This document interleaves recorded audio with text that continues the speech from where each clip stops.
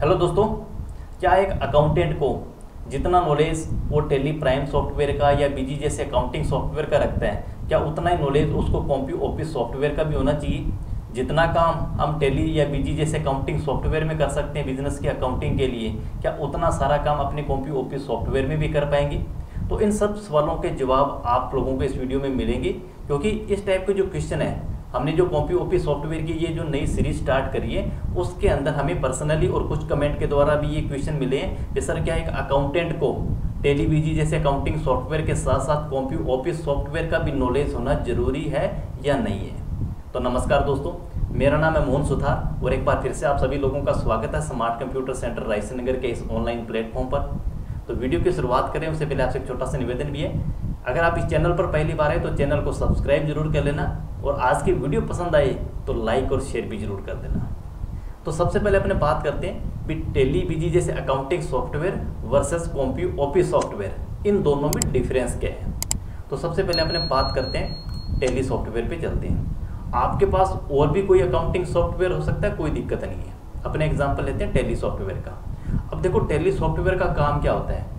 Tele software एक accounting software है, जो अपने किसी भी प्रकार की बिज़नेस की अकाउंट्स के रिकॉर्ड को प्रिपेयर करने के पर्पज से अपने टेली सॉफ्टवेयर का यूज़ करते हैं। जैसे मान लीजिए कोई कंपनी है, उस कंपनी के अंदर अपनों ने कितना प्रोडक्ट खरीदा है तो उसके लिए अपने क्या करते हैं परचेज वाउचर का यूज़ अपने करते हैं, ठीक है? और उस परचेज वाउचर के अंदर अपने पर्टिकुलर उस परचेज वाउचर की एंट्री कर लेते हैं।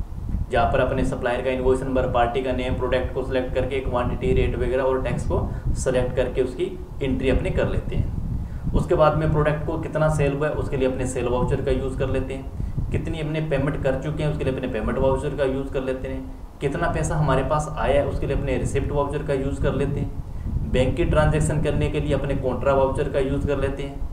एडजस्टमेंट कोई रिवर्सल एंट्री करनी है, उसके लिए अपने जनरल वाउचर का यूज़ कर लेते हैं। और उसके साथ साथ अगर हमने कोई गुड्स रिटर्न किए हैं, या हमारे पास में अगर कोई गुड्स आया है तो उसके लिए अपने credit note, debit note, voucher का भी अपने यूज़ कर लेते हैं। तो इसके अलावा और बहुत सारे इन्वेंट्री वाउचर से रिलेटेड है, जैसे डिलीवरी नोट है मटेरियल इन है मटेरियल आउट्स है, कोई फ़िज़िकल स्टॉक आपको लिखना है। इसके साथ साथ अगर आपके ऑर्डर से संबंधित कोई डिटेल है जॉब वर्क की डिटेल है जॉब वर्क आउट ऑर्डर है परचेज ऑर्डर है सेल ऑर्डर है पे रोल से संबंधित बहुत सारे वाउचर है। ये सारे वाउचर अपने कंपनी की रिक्वायरमेंट के अकॉर्डिंग इन सबको यूज़ करते हैं।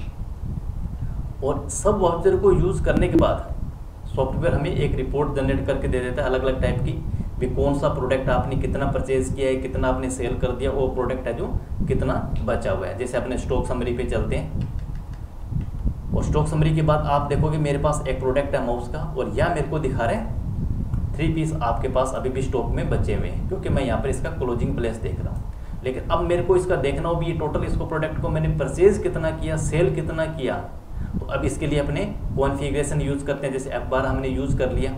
उसके बाद अपने शो इनवर्ड डिटेल को यस कर देते हैं और शो गुड आउटवर्ड यानी कि इनवर्ड का मतलब हो गया परचेज और आउटवर्ड का मतलब हो गया सेल कंट्रोल ये करेंगे तो यहाँ आपको टोटल डिटेल दिखा देगा इनवर्ड यानी कि आपने इस प्रोडक्ट को कितना परचेज किया पीस में?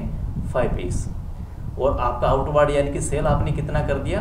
टू पीस यानी कि पाँच पीस आपने परचेज किए, तीन पीस आपने सेल कर दिए।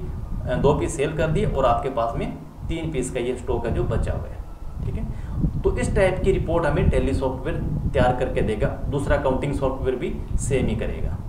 इसके साथ साथ अपने प्रॉफिट एंड लॉस काउंट भी जाके देखते हैं तो यहाँ आपको दिखाएगा भी आपने टोटल नौ सौ की परचेज करी है, इसके अंदर आपने पाँच सौ का भी सेल कर दिया और पाँच सौ का अभी भी आपके पास में स्टॉक बचा हुआ है।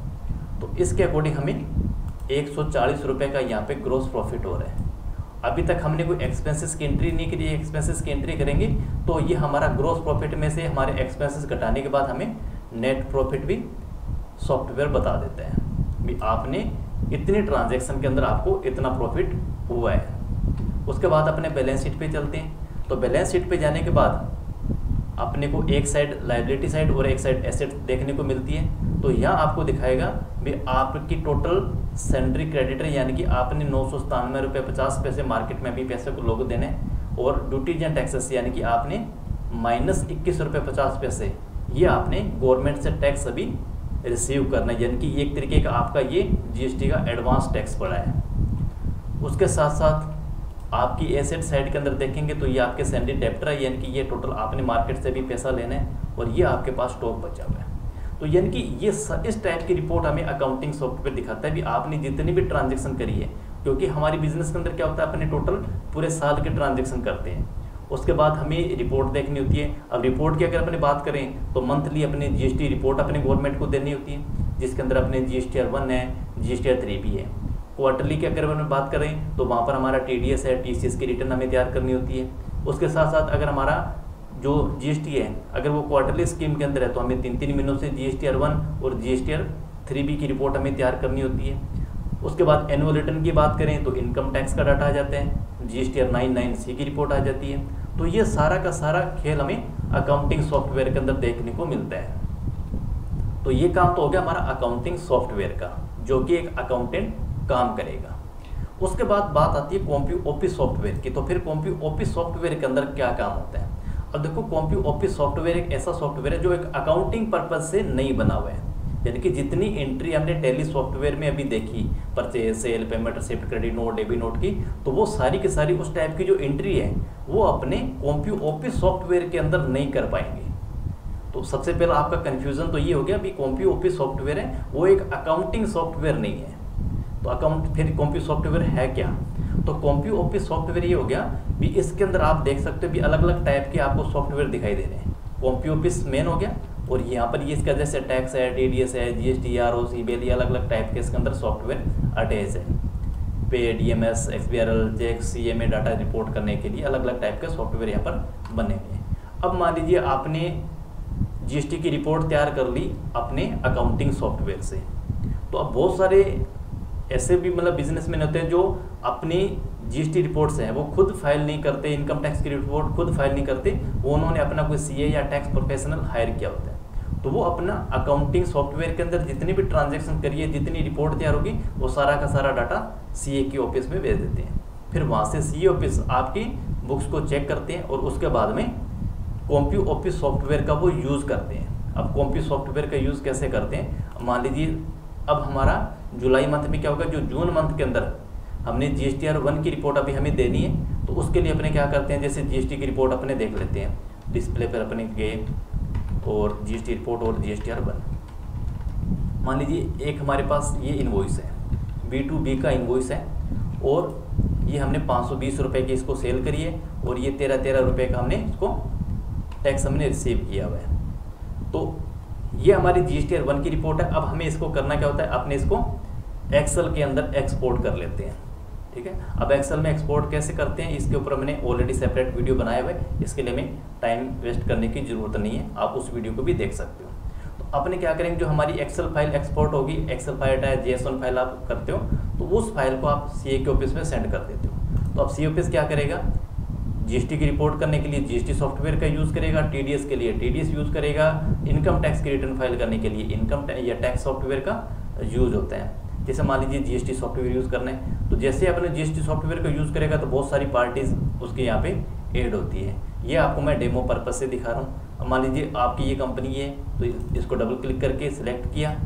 और उसके बाद में आपने जो रिपोर्ट्स जो फ़ाइल आपने भेजी है, आपके जी एस की रिपोर्ट को तो वहाँ क्या होगा? इसके अंदर इम्पोर्ट करवा दी जाएगी। अब यहाँ कॉम्पी ऑफ़िस सॉफ्टवेयर का काम क्या गया?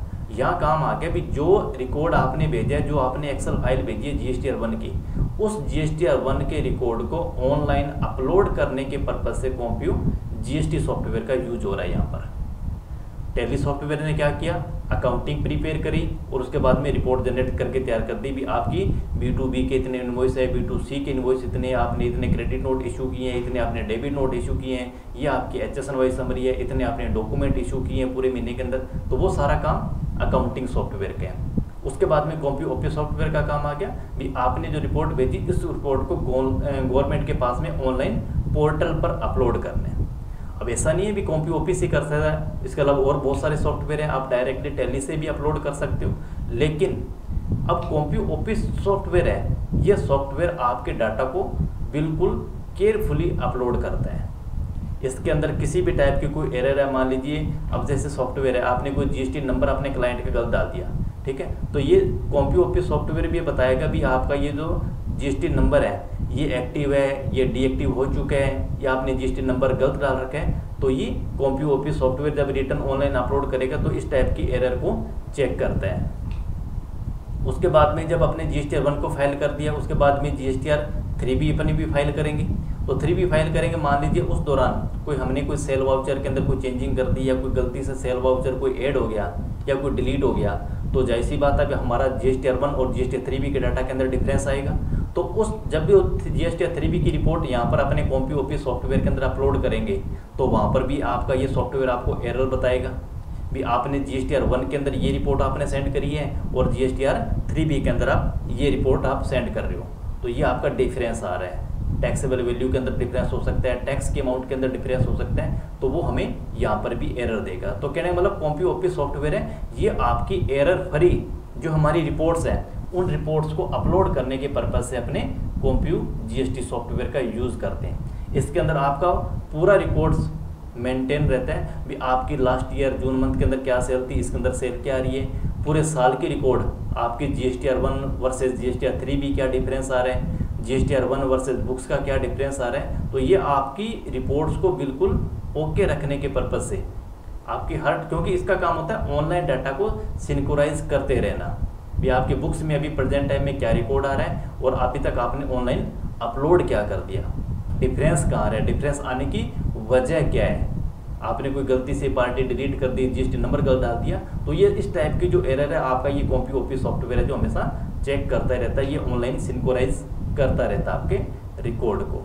तो आई होप कि आप इस बात को अच्छी तरीके से समझ रहे होंगे कि कॉम्पी ओपी सॉफ्टवेयर का जो यूज़ है, चाहे G S T T D S T D S है, ये हमें ऑनलाइन रिपोर्ट पर्पज करने से, करने के पर्पज से इस सॉफ्टवेयर का यूज़ होता है। और ये कॉपी ओपी सॉफ्टवेयर आपको हर जगह नहीं मिलेगा, हर कंपनी में नहीं मिलेगा, हर शॉप पे भी नहीं मिलेगा। लेकिन अकाउंटिंग सॉफ्टवेयर आपको हर शॉप पे, हर कंपनी के अंदर मिलेगा, क्योंकि वहाँ पर अकाउंटिंग करने के लिए ज़रूरत इनकी पड़ेगी। लेकिन कॉपी ओपी सॉफ्टवेयर एक रिपोर्ट करने के पर्पज से यूज़ किया जाता है। तो अब यूज़ कौन करता है? जहाँ पर आप लोगों ने कोई भी अपना टैक्स प्रोफेशनल या सी जो भी, जहाँ भी अभी आप अपने रिकॉर्ड को सेंड करते हो ऑनलाइन को रिटर्न भेजने के लिए तो वो लोग यूज़ करेंगे। तो हर बिज़नेस के अंदर आपको ये कॉपी ओपी सॉफ्टवेयर है जो नहीं मिलता।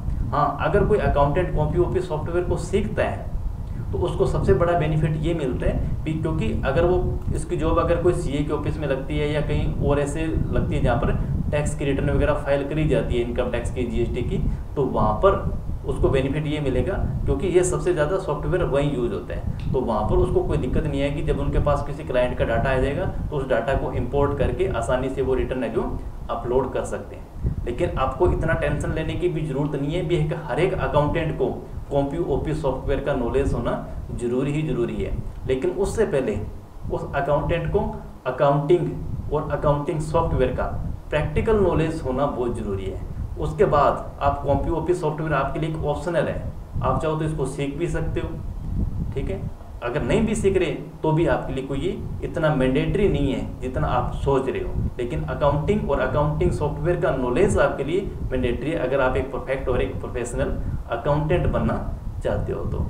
फिर भी अगर आपकी कोई क्वेरी बचती है कि कॉम्पी सॉफ्टवेयर और अकाउंटिंग सॉफ्टवेयर में क्या डिफरेंस है? सीखना कहाँ सीखें तो कहाँ से सीखें? तो आप डेफिनेटली हमें कमेंट कर सकते हैं। अब नेक्स्ट वीडियो के अंदर इसका ज़रूर आपको रिप्लाई देंगे। और आज के इस वीडियो को देखने के लिए आपका बहुत बहुत धन्यवाद। वीडियो अगर आपको नॉलेजेबल लगे तो वीडियो को लाइक ज़रूर कर देना वीडियो को शेयर भी कर देना और चैनल को ज़रूर आप सब्सक्राइब कर लेना, क्योंकि आगे भी आप लोगों को इस टाइप की नई नई वीडियो मिलती रहेगी।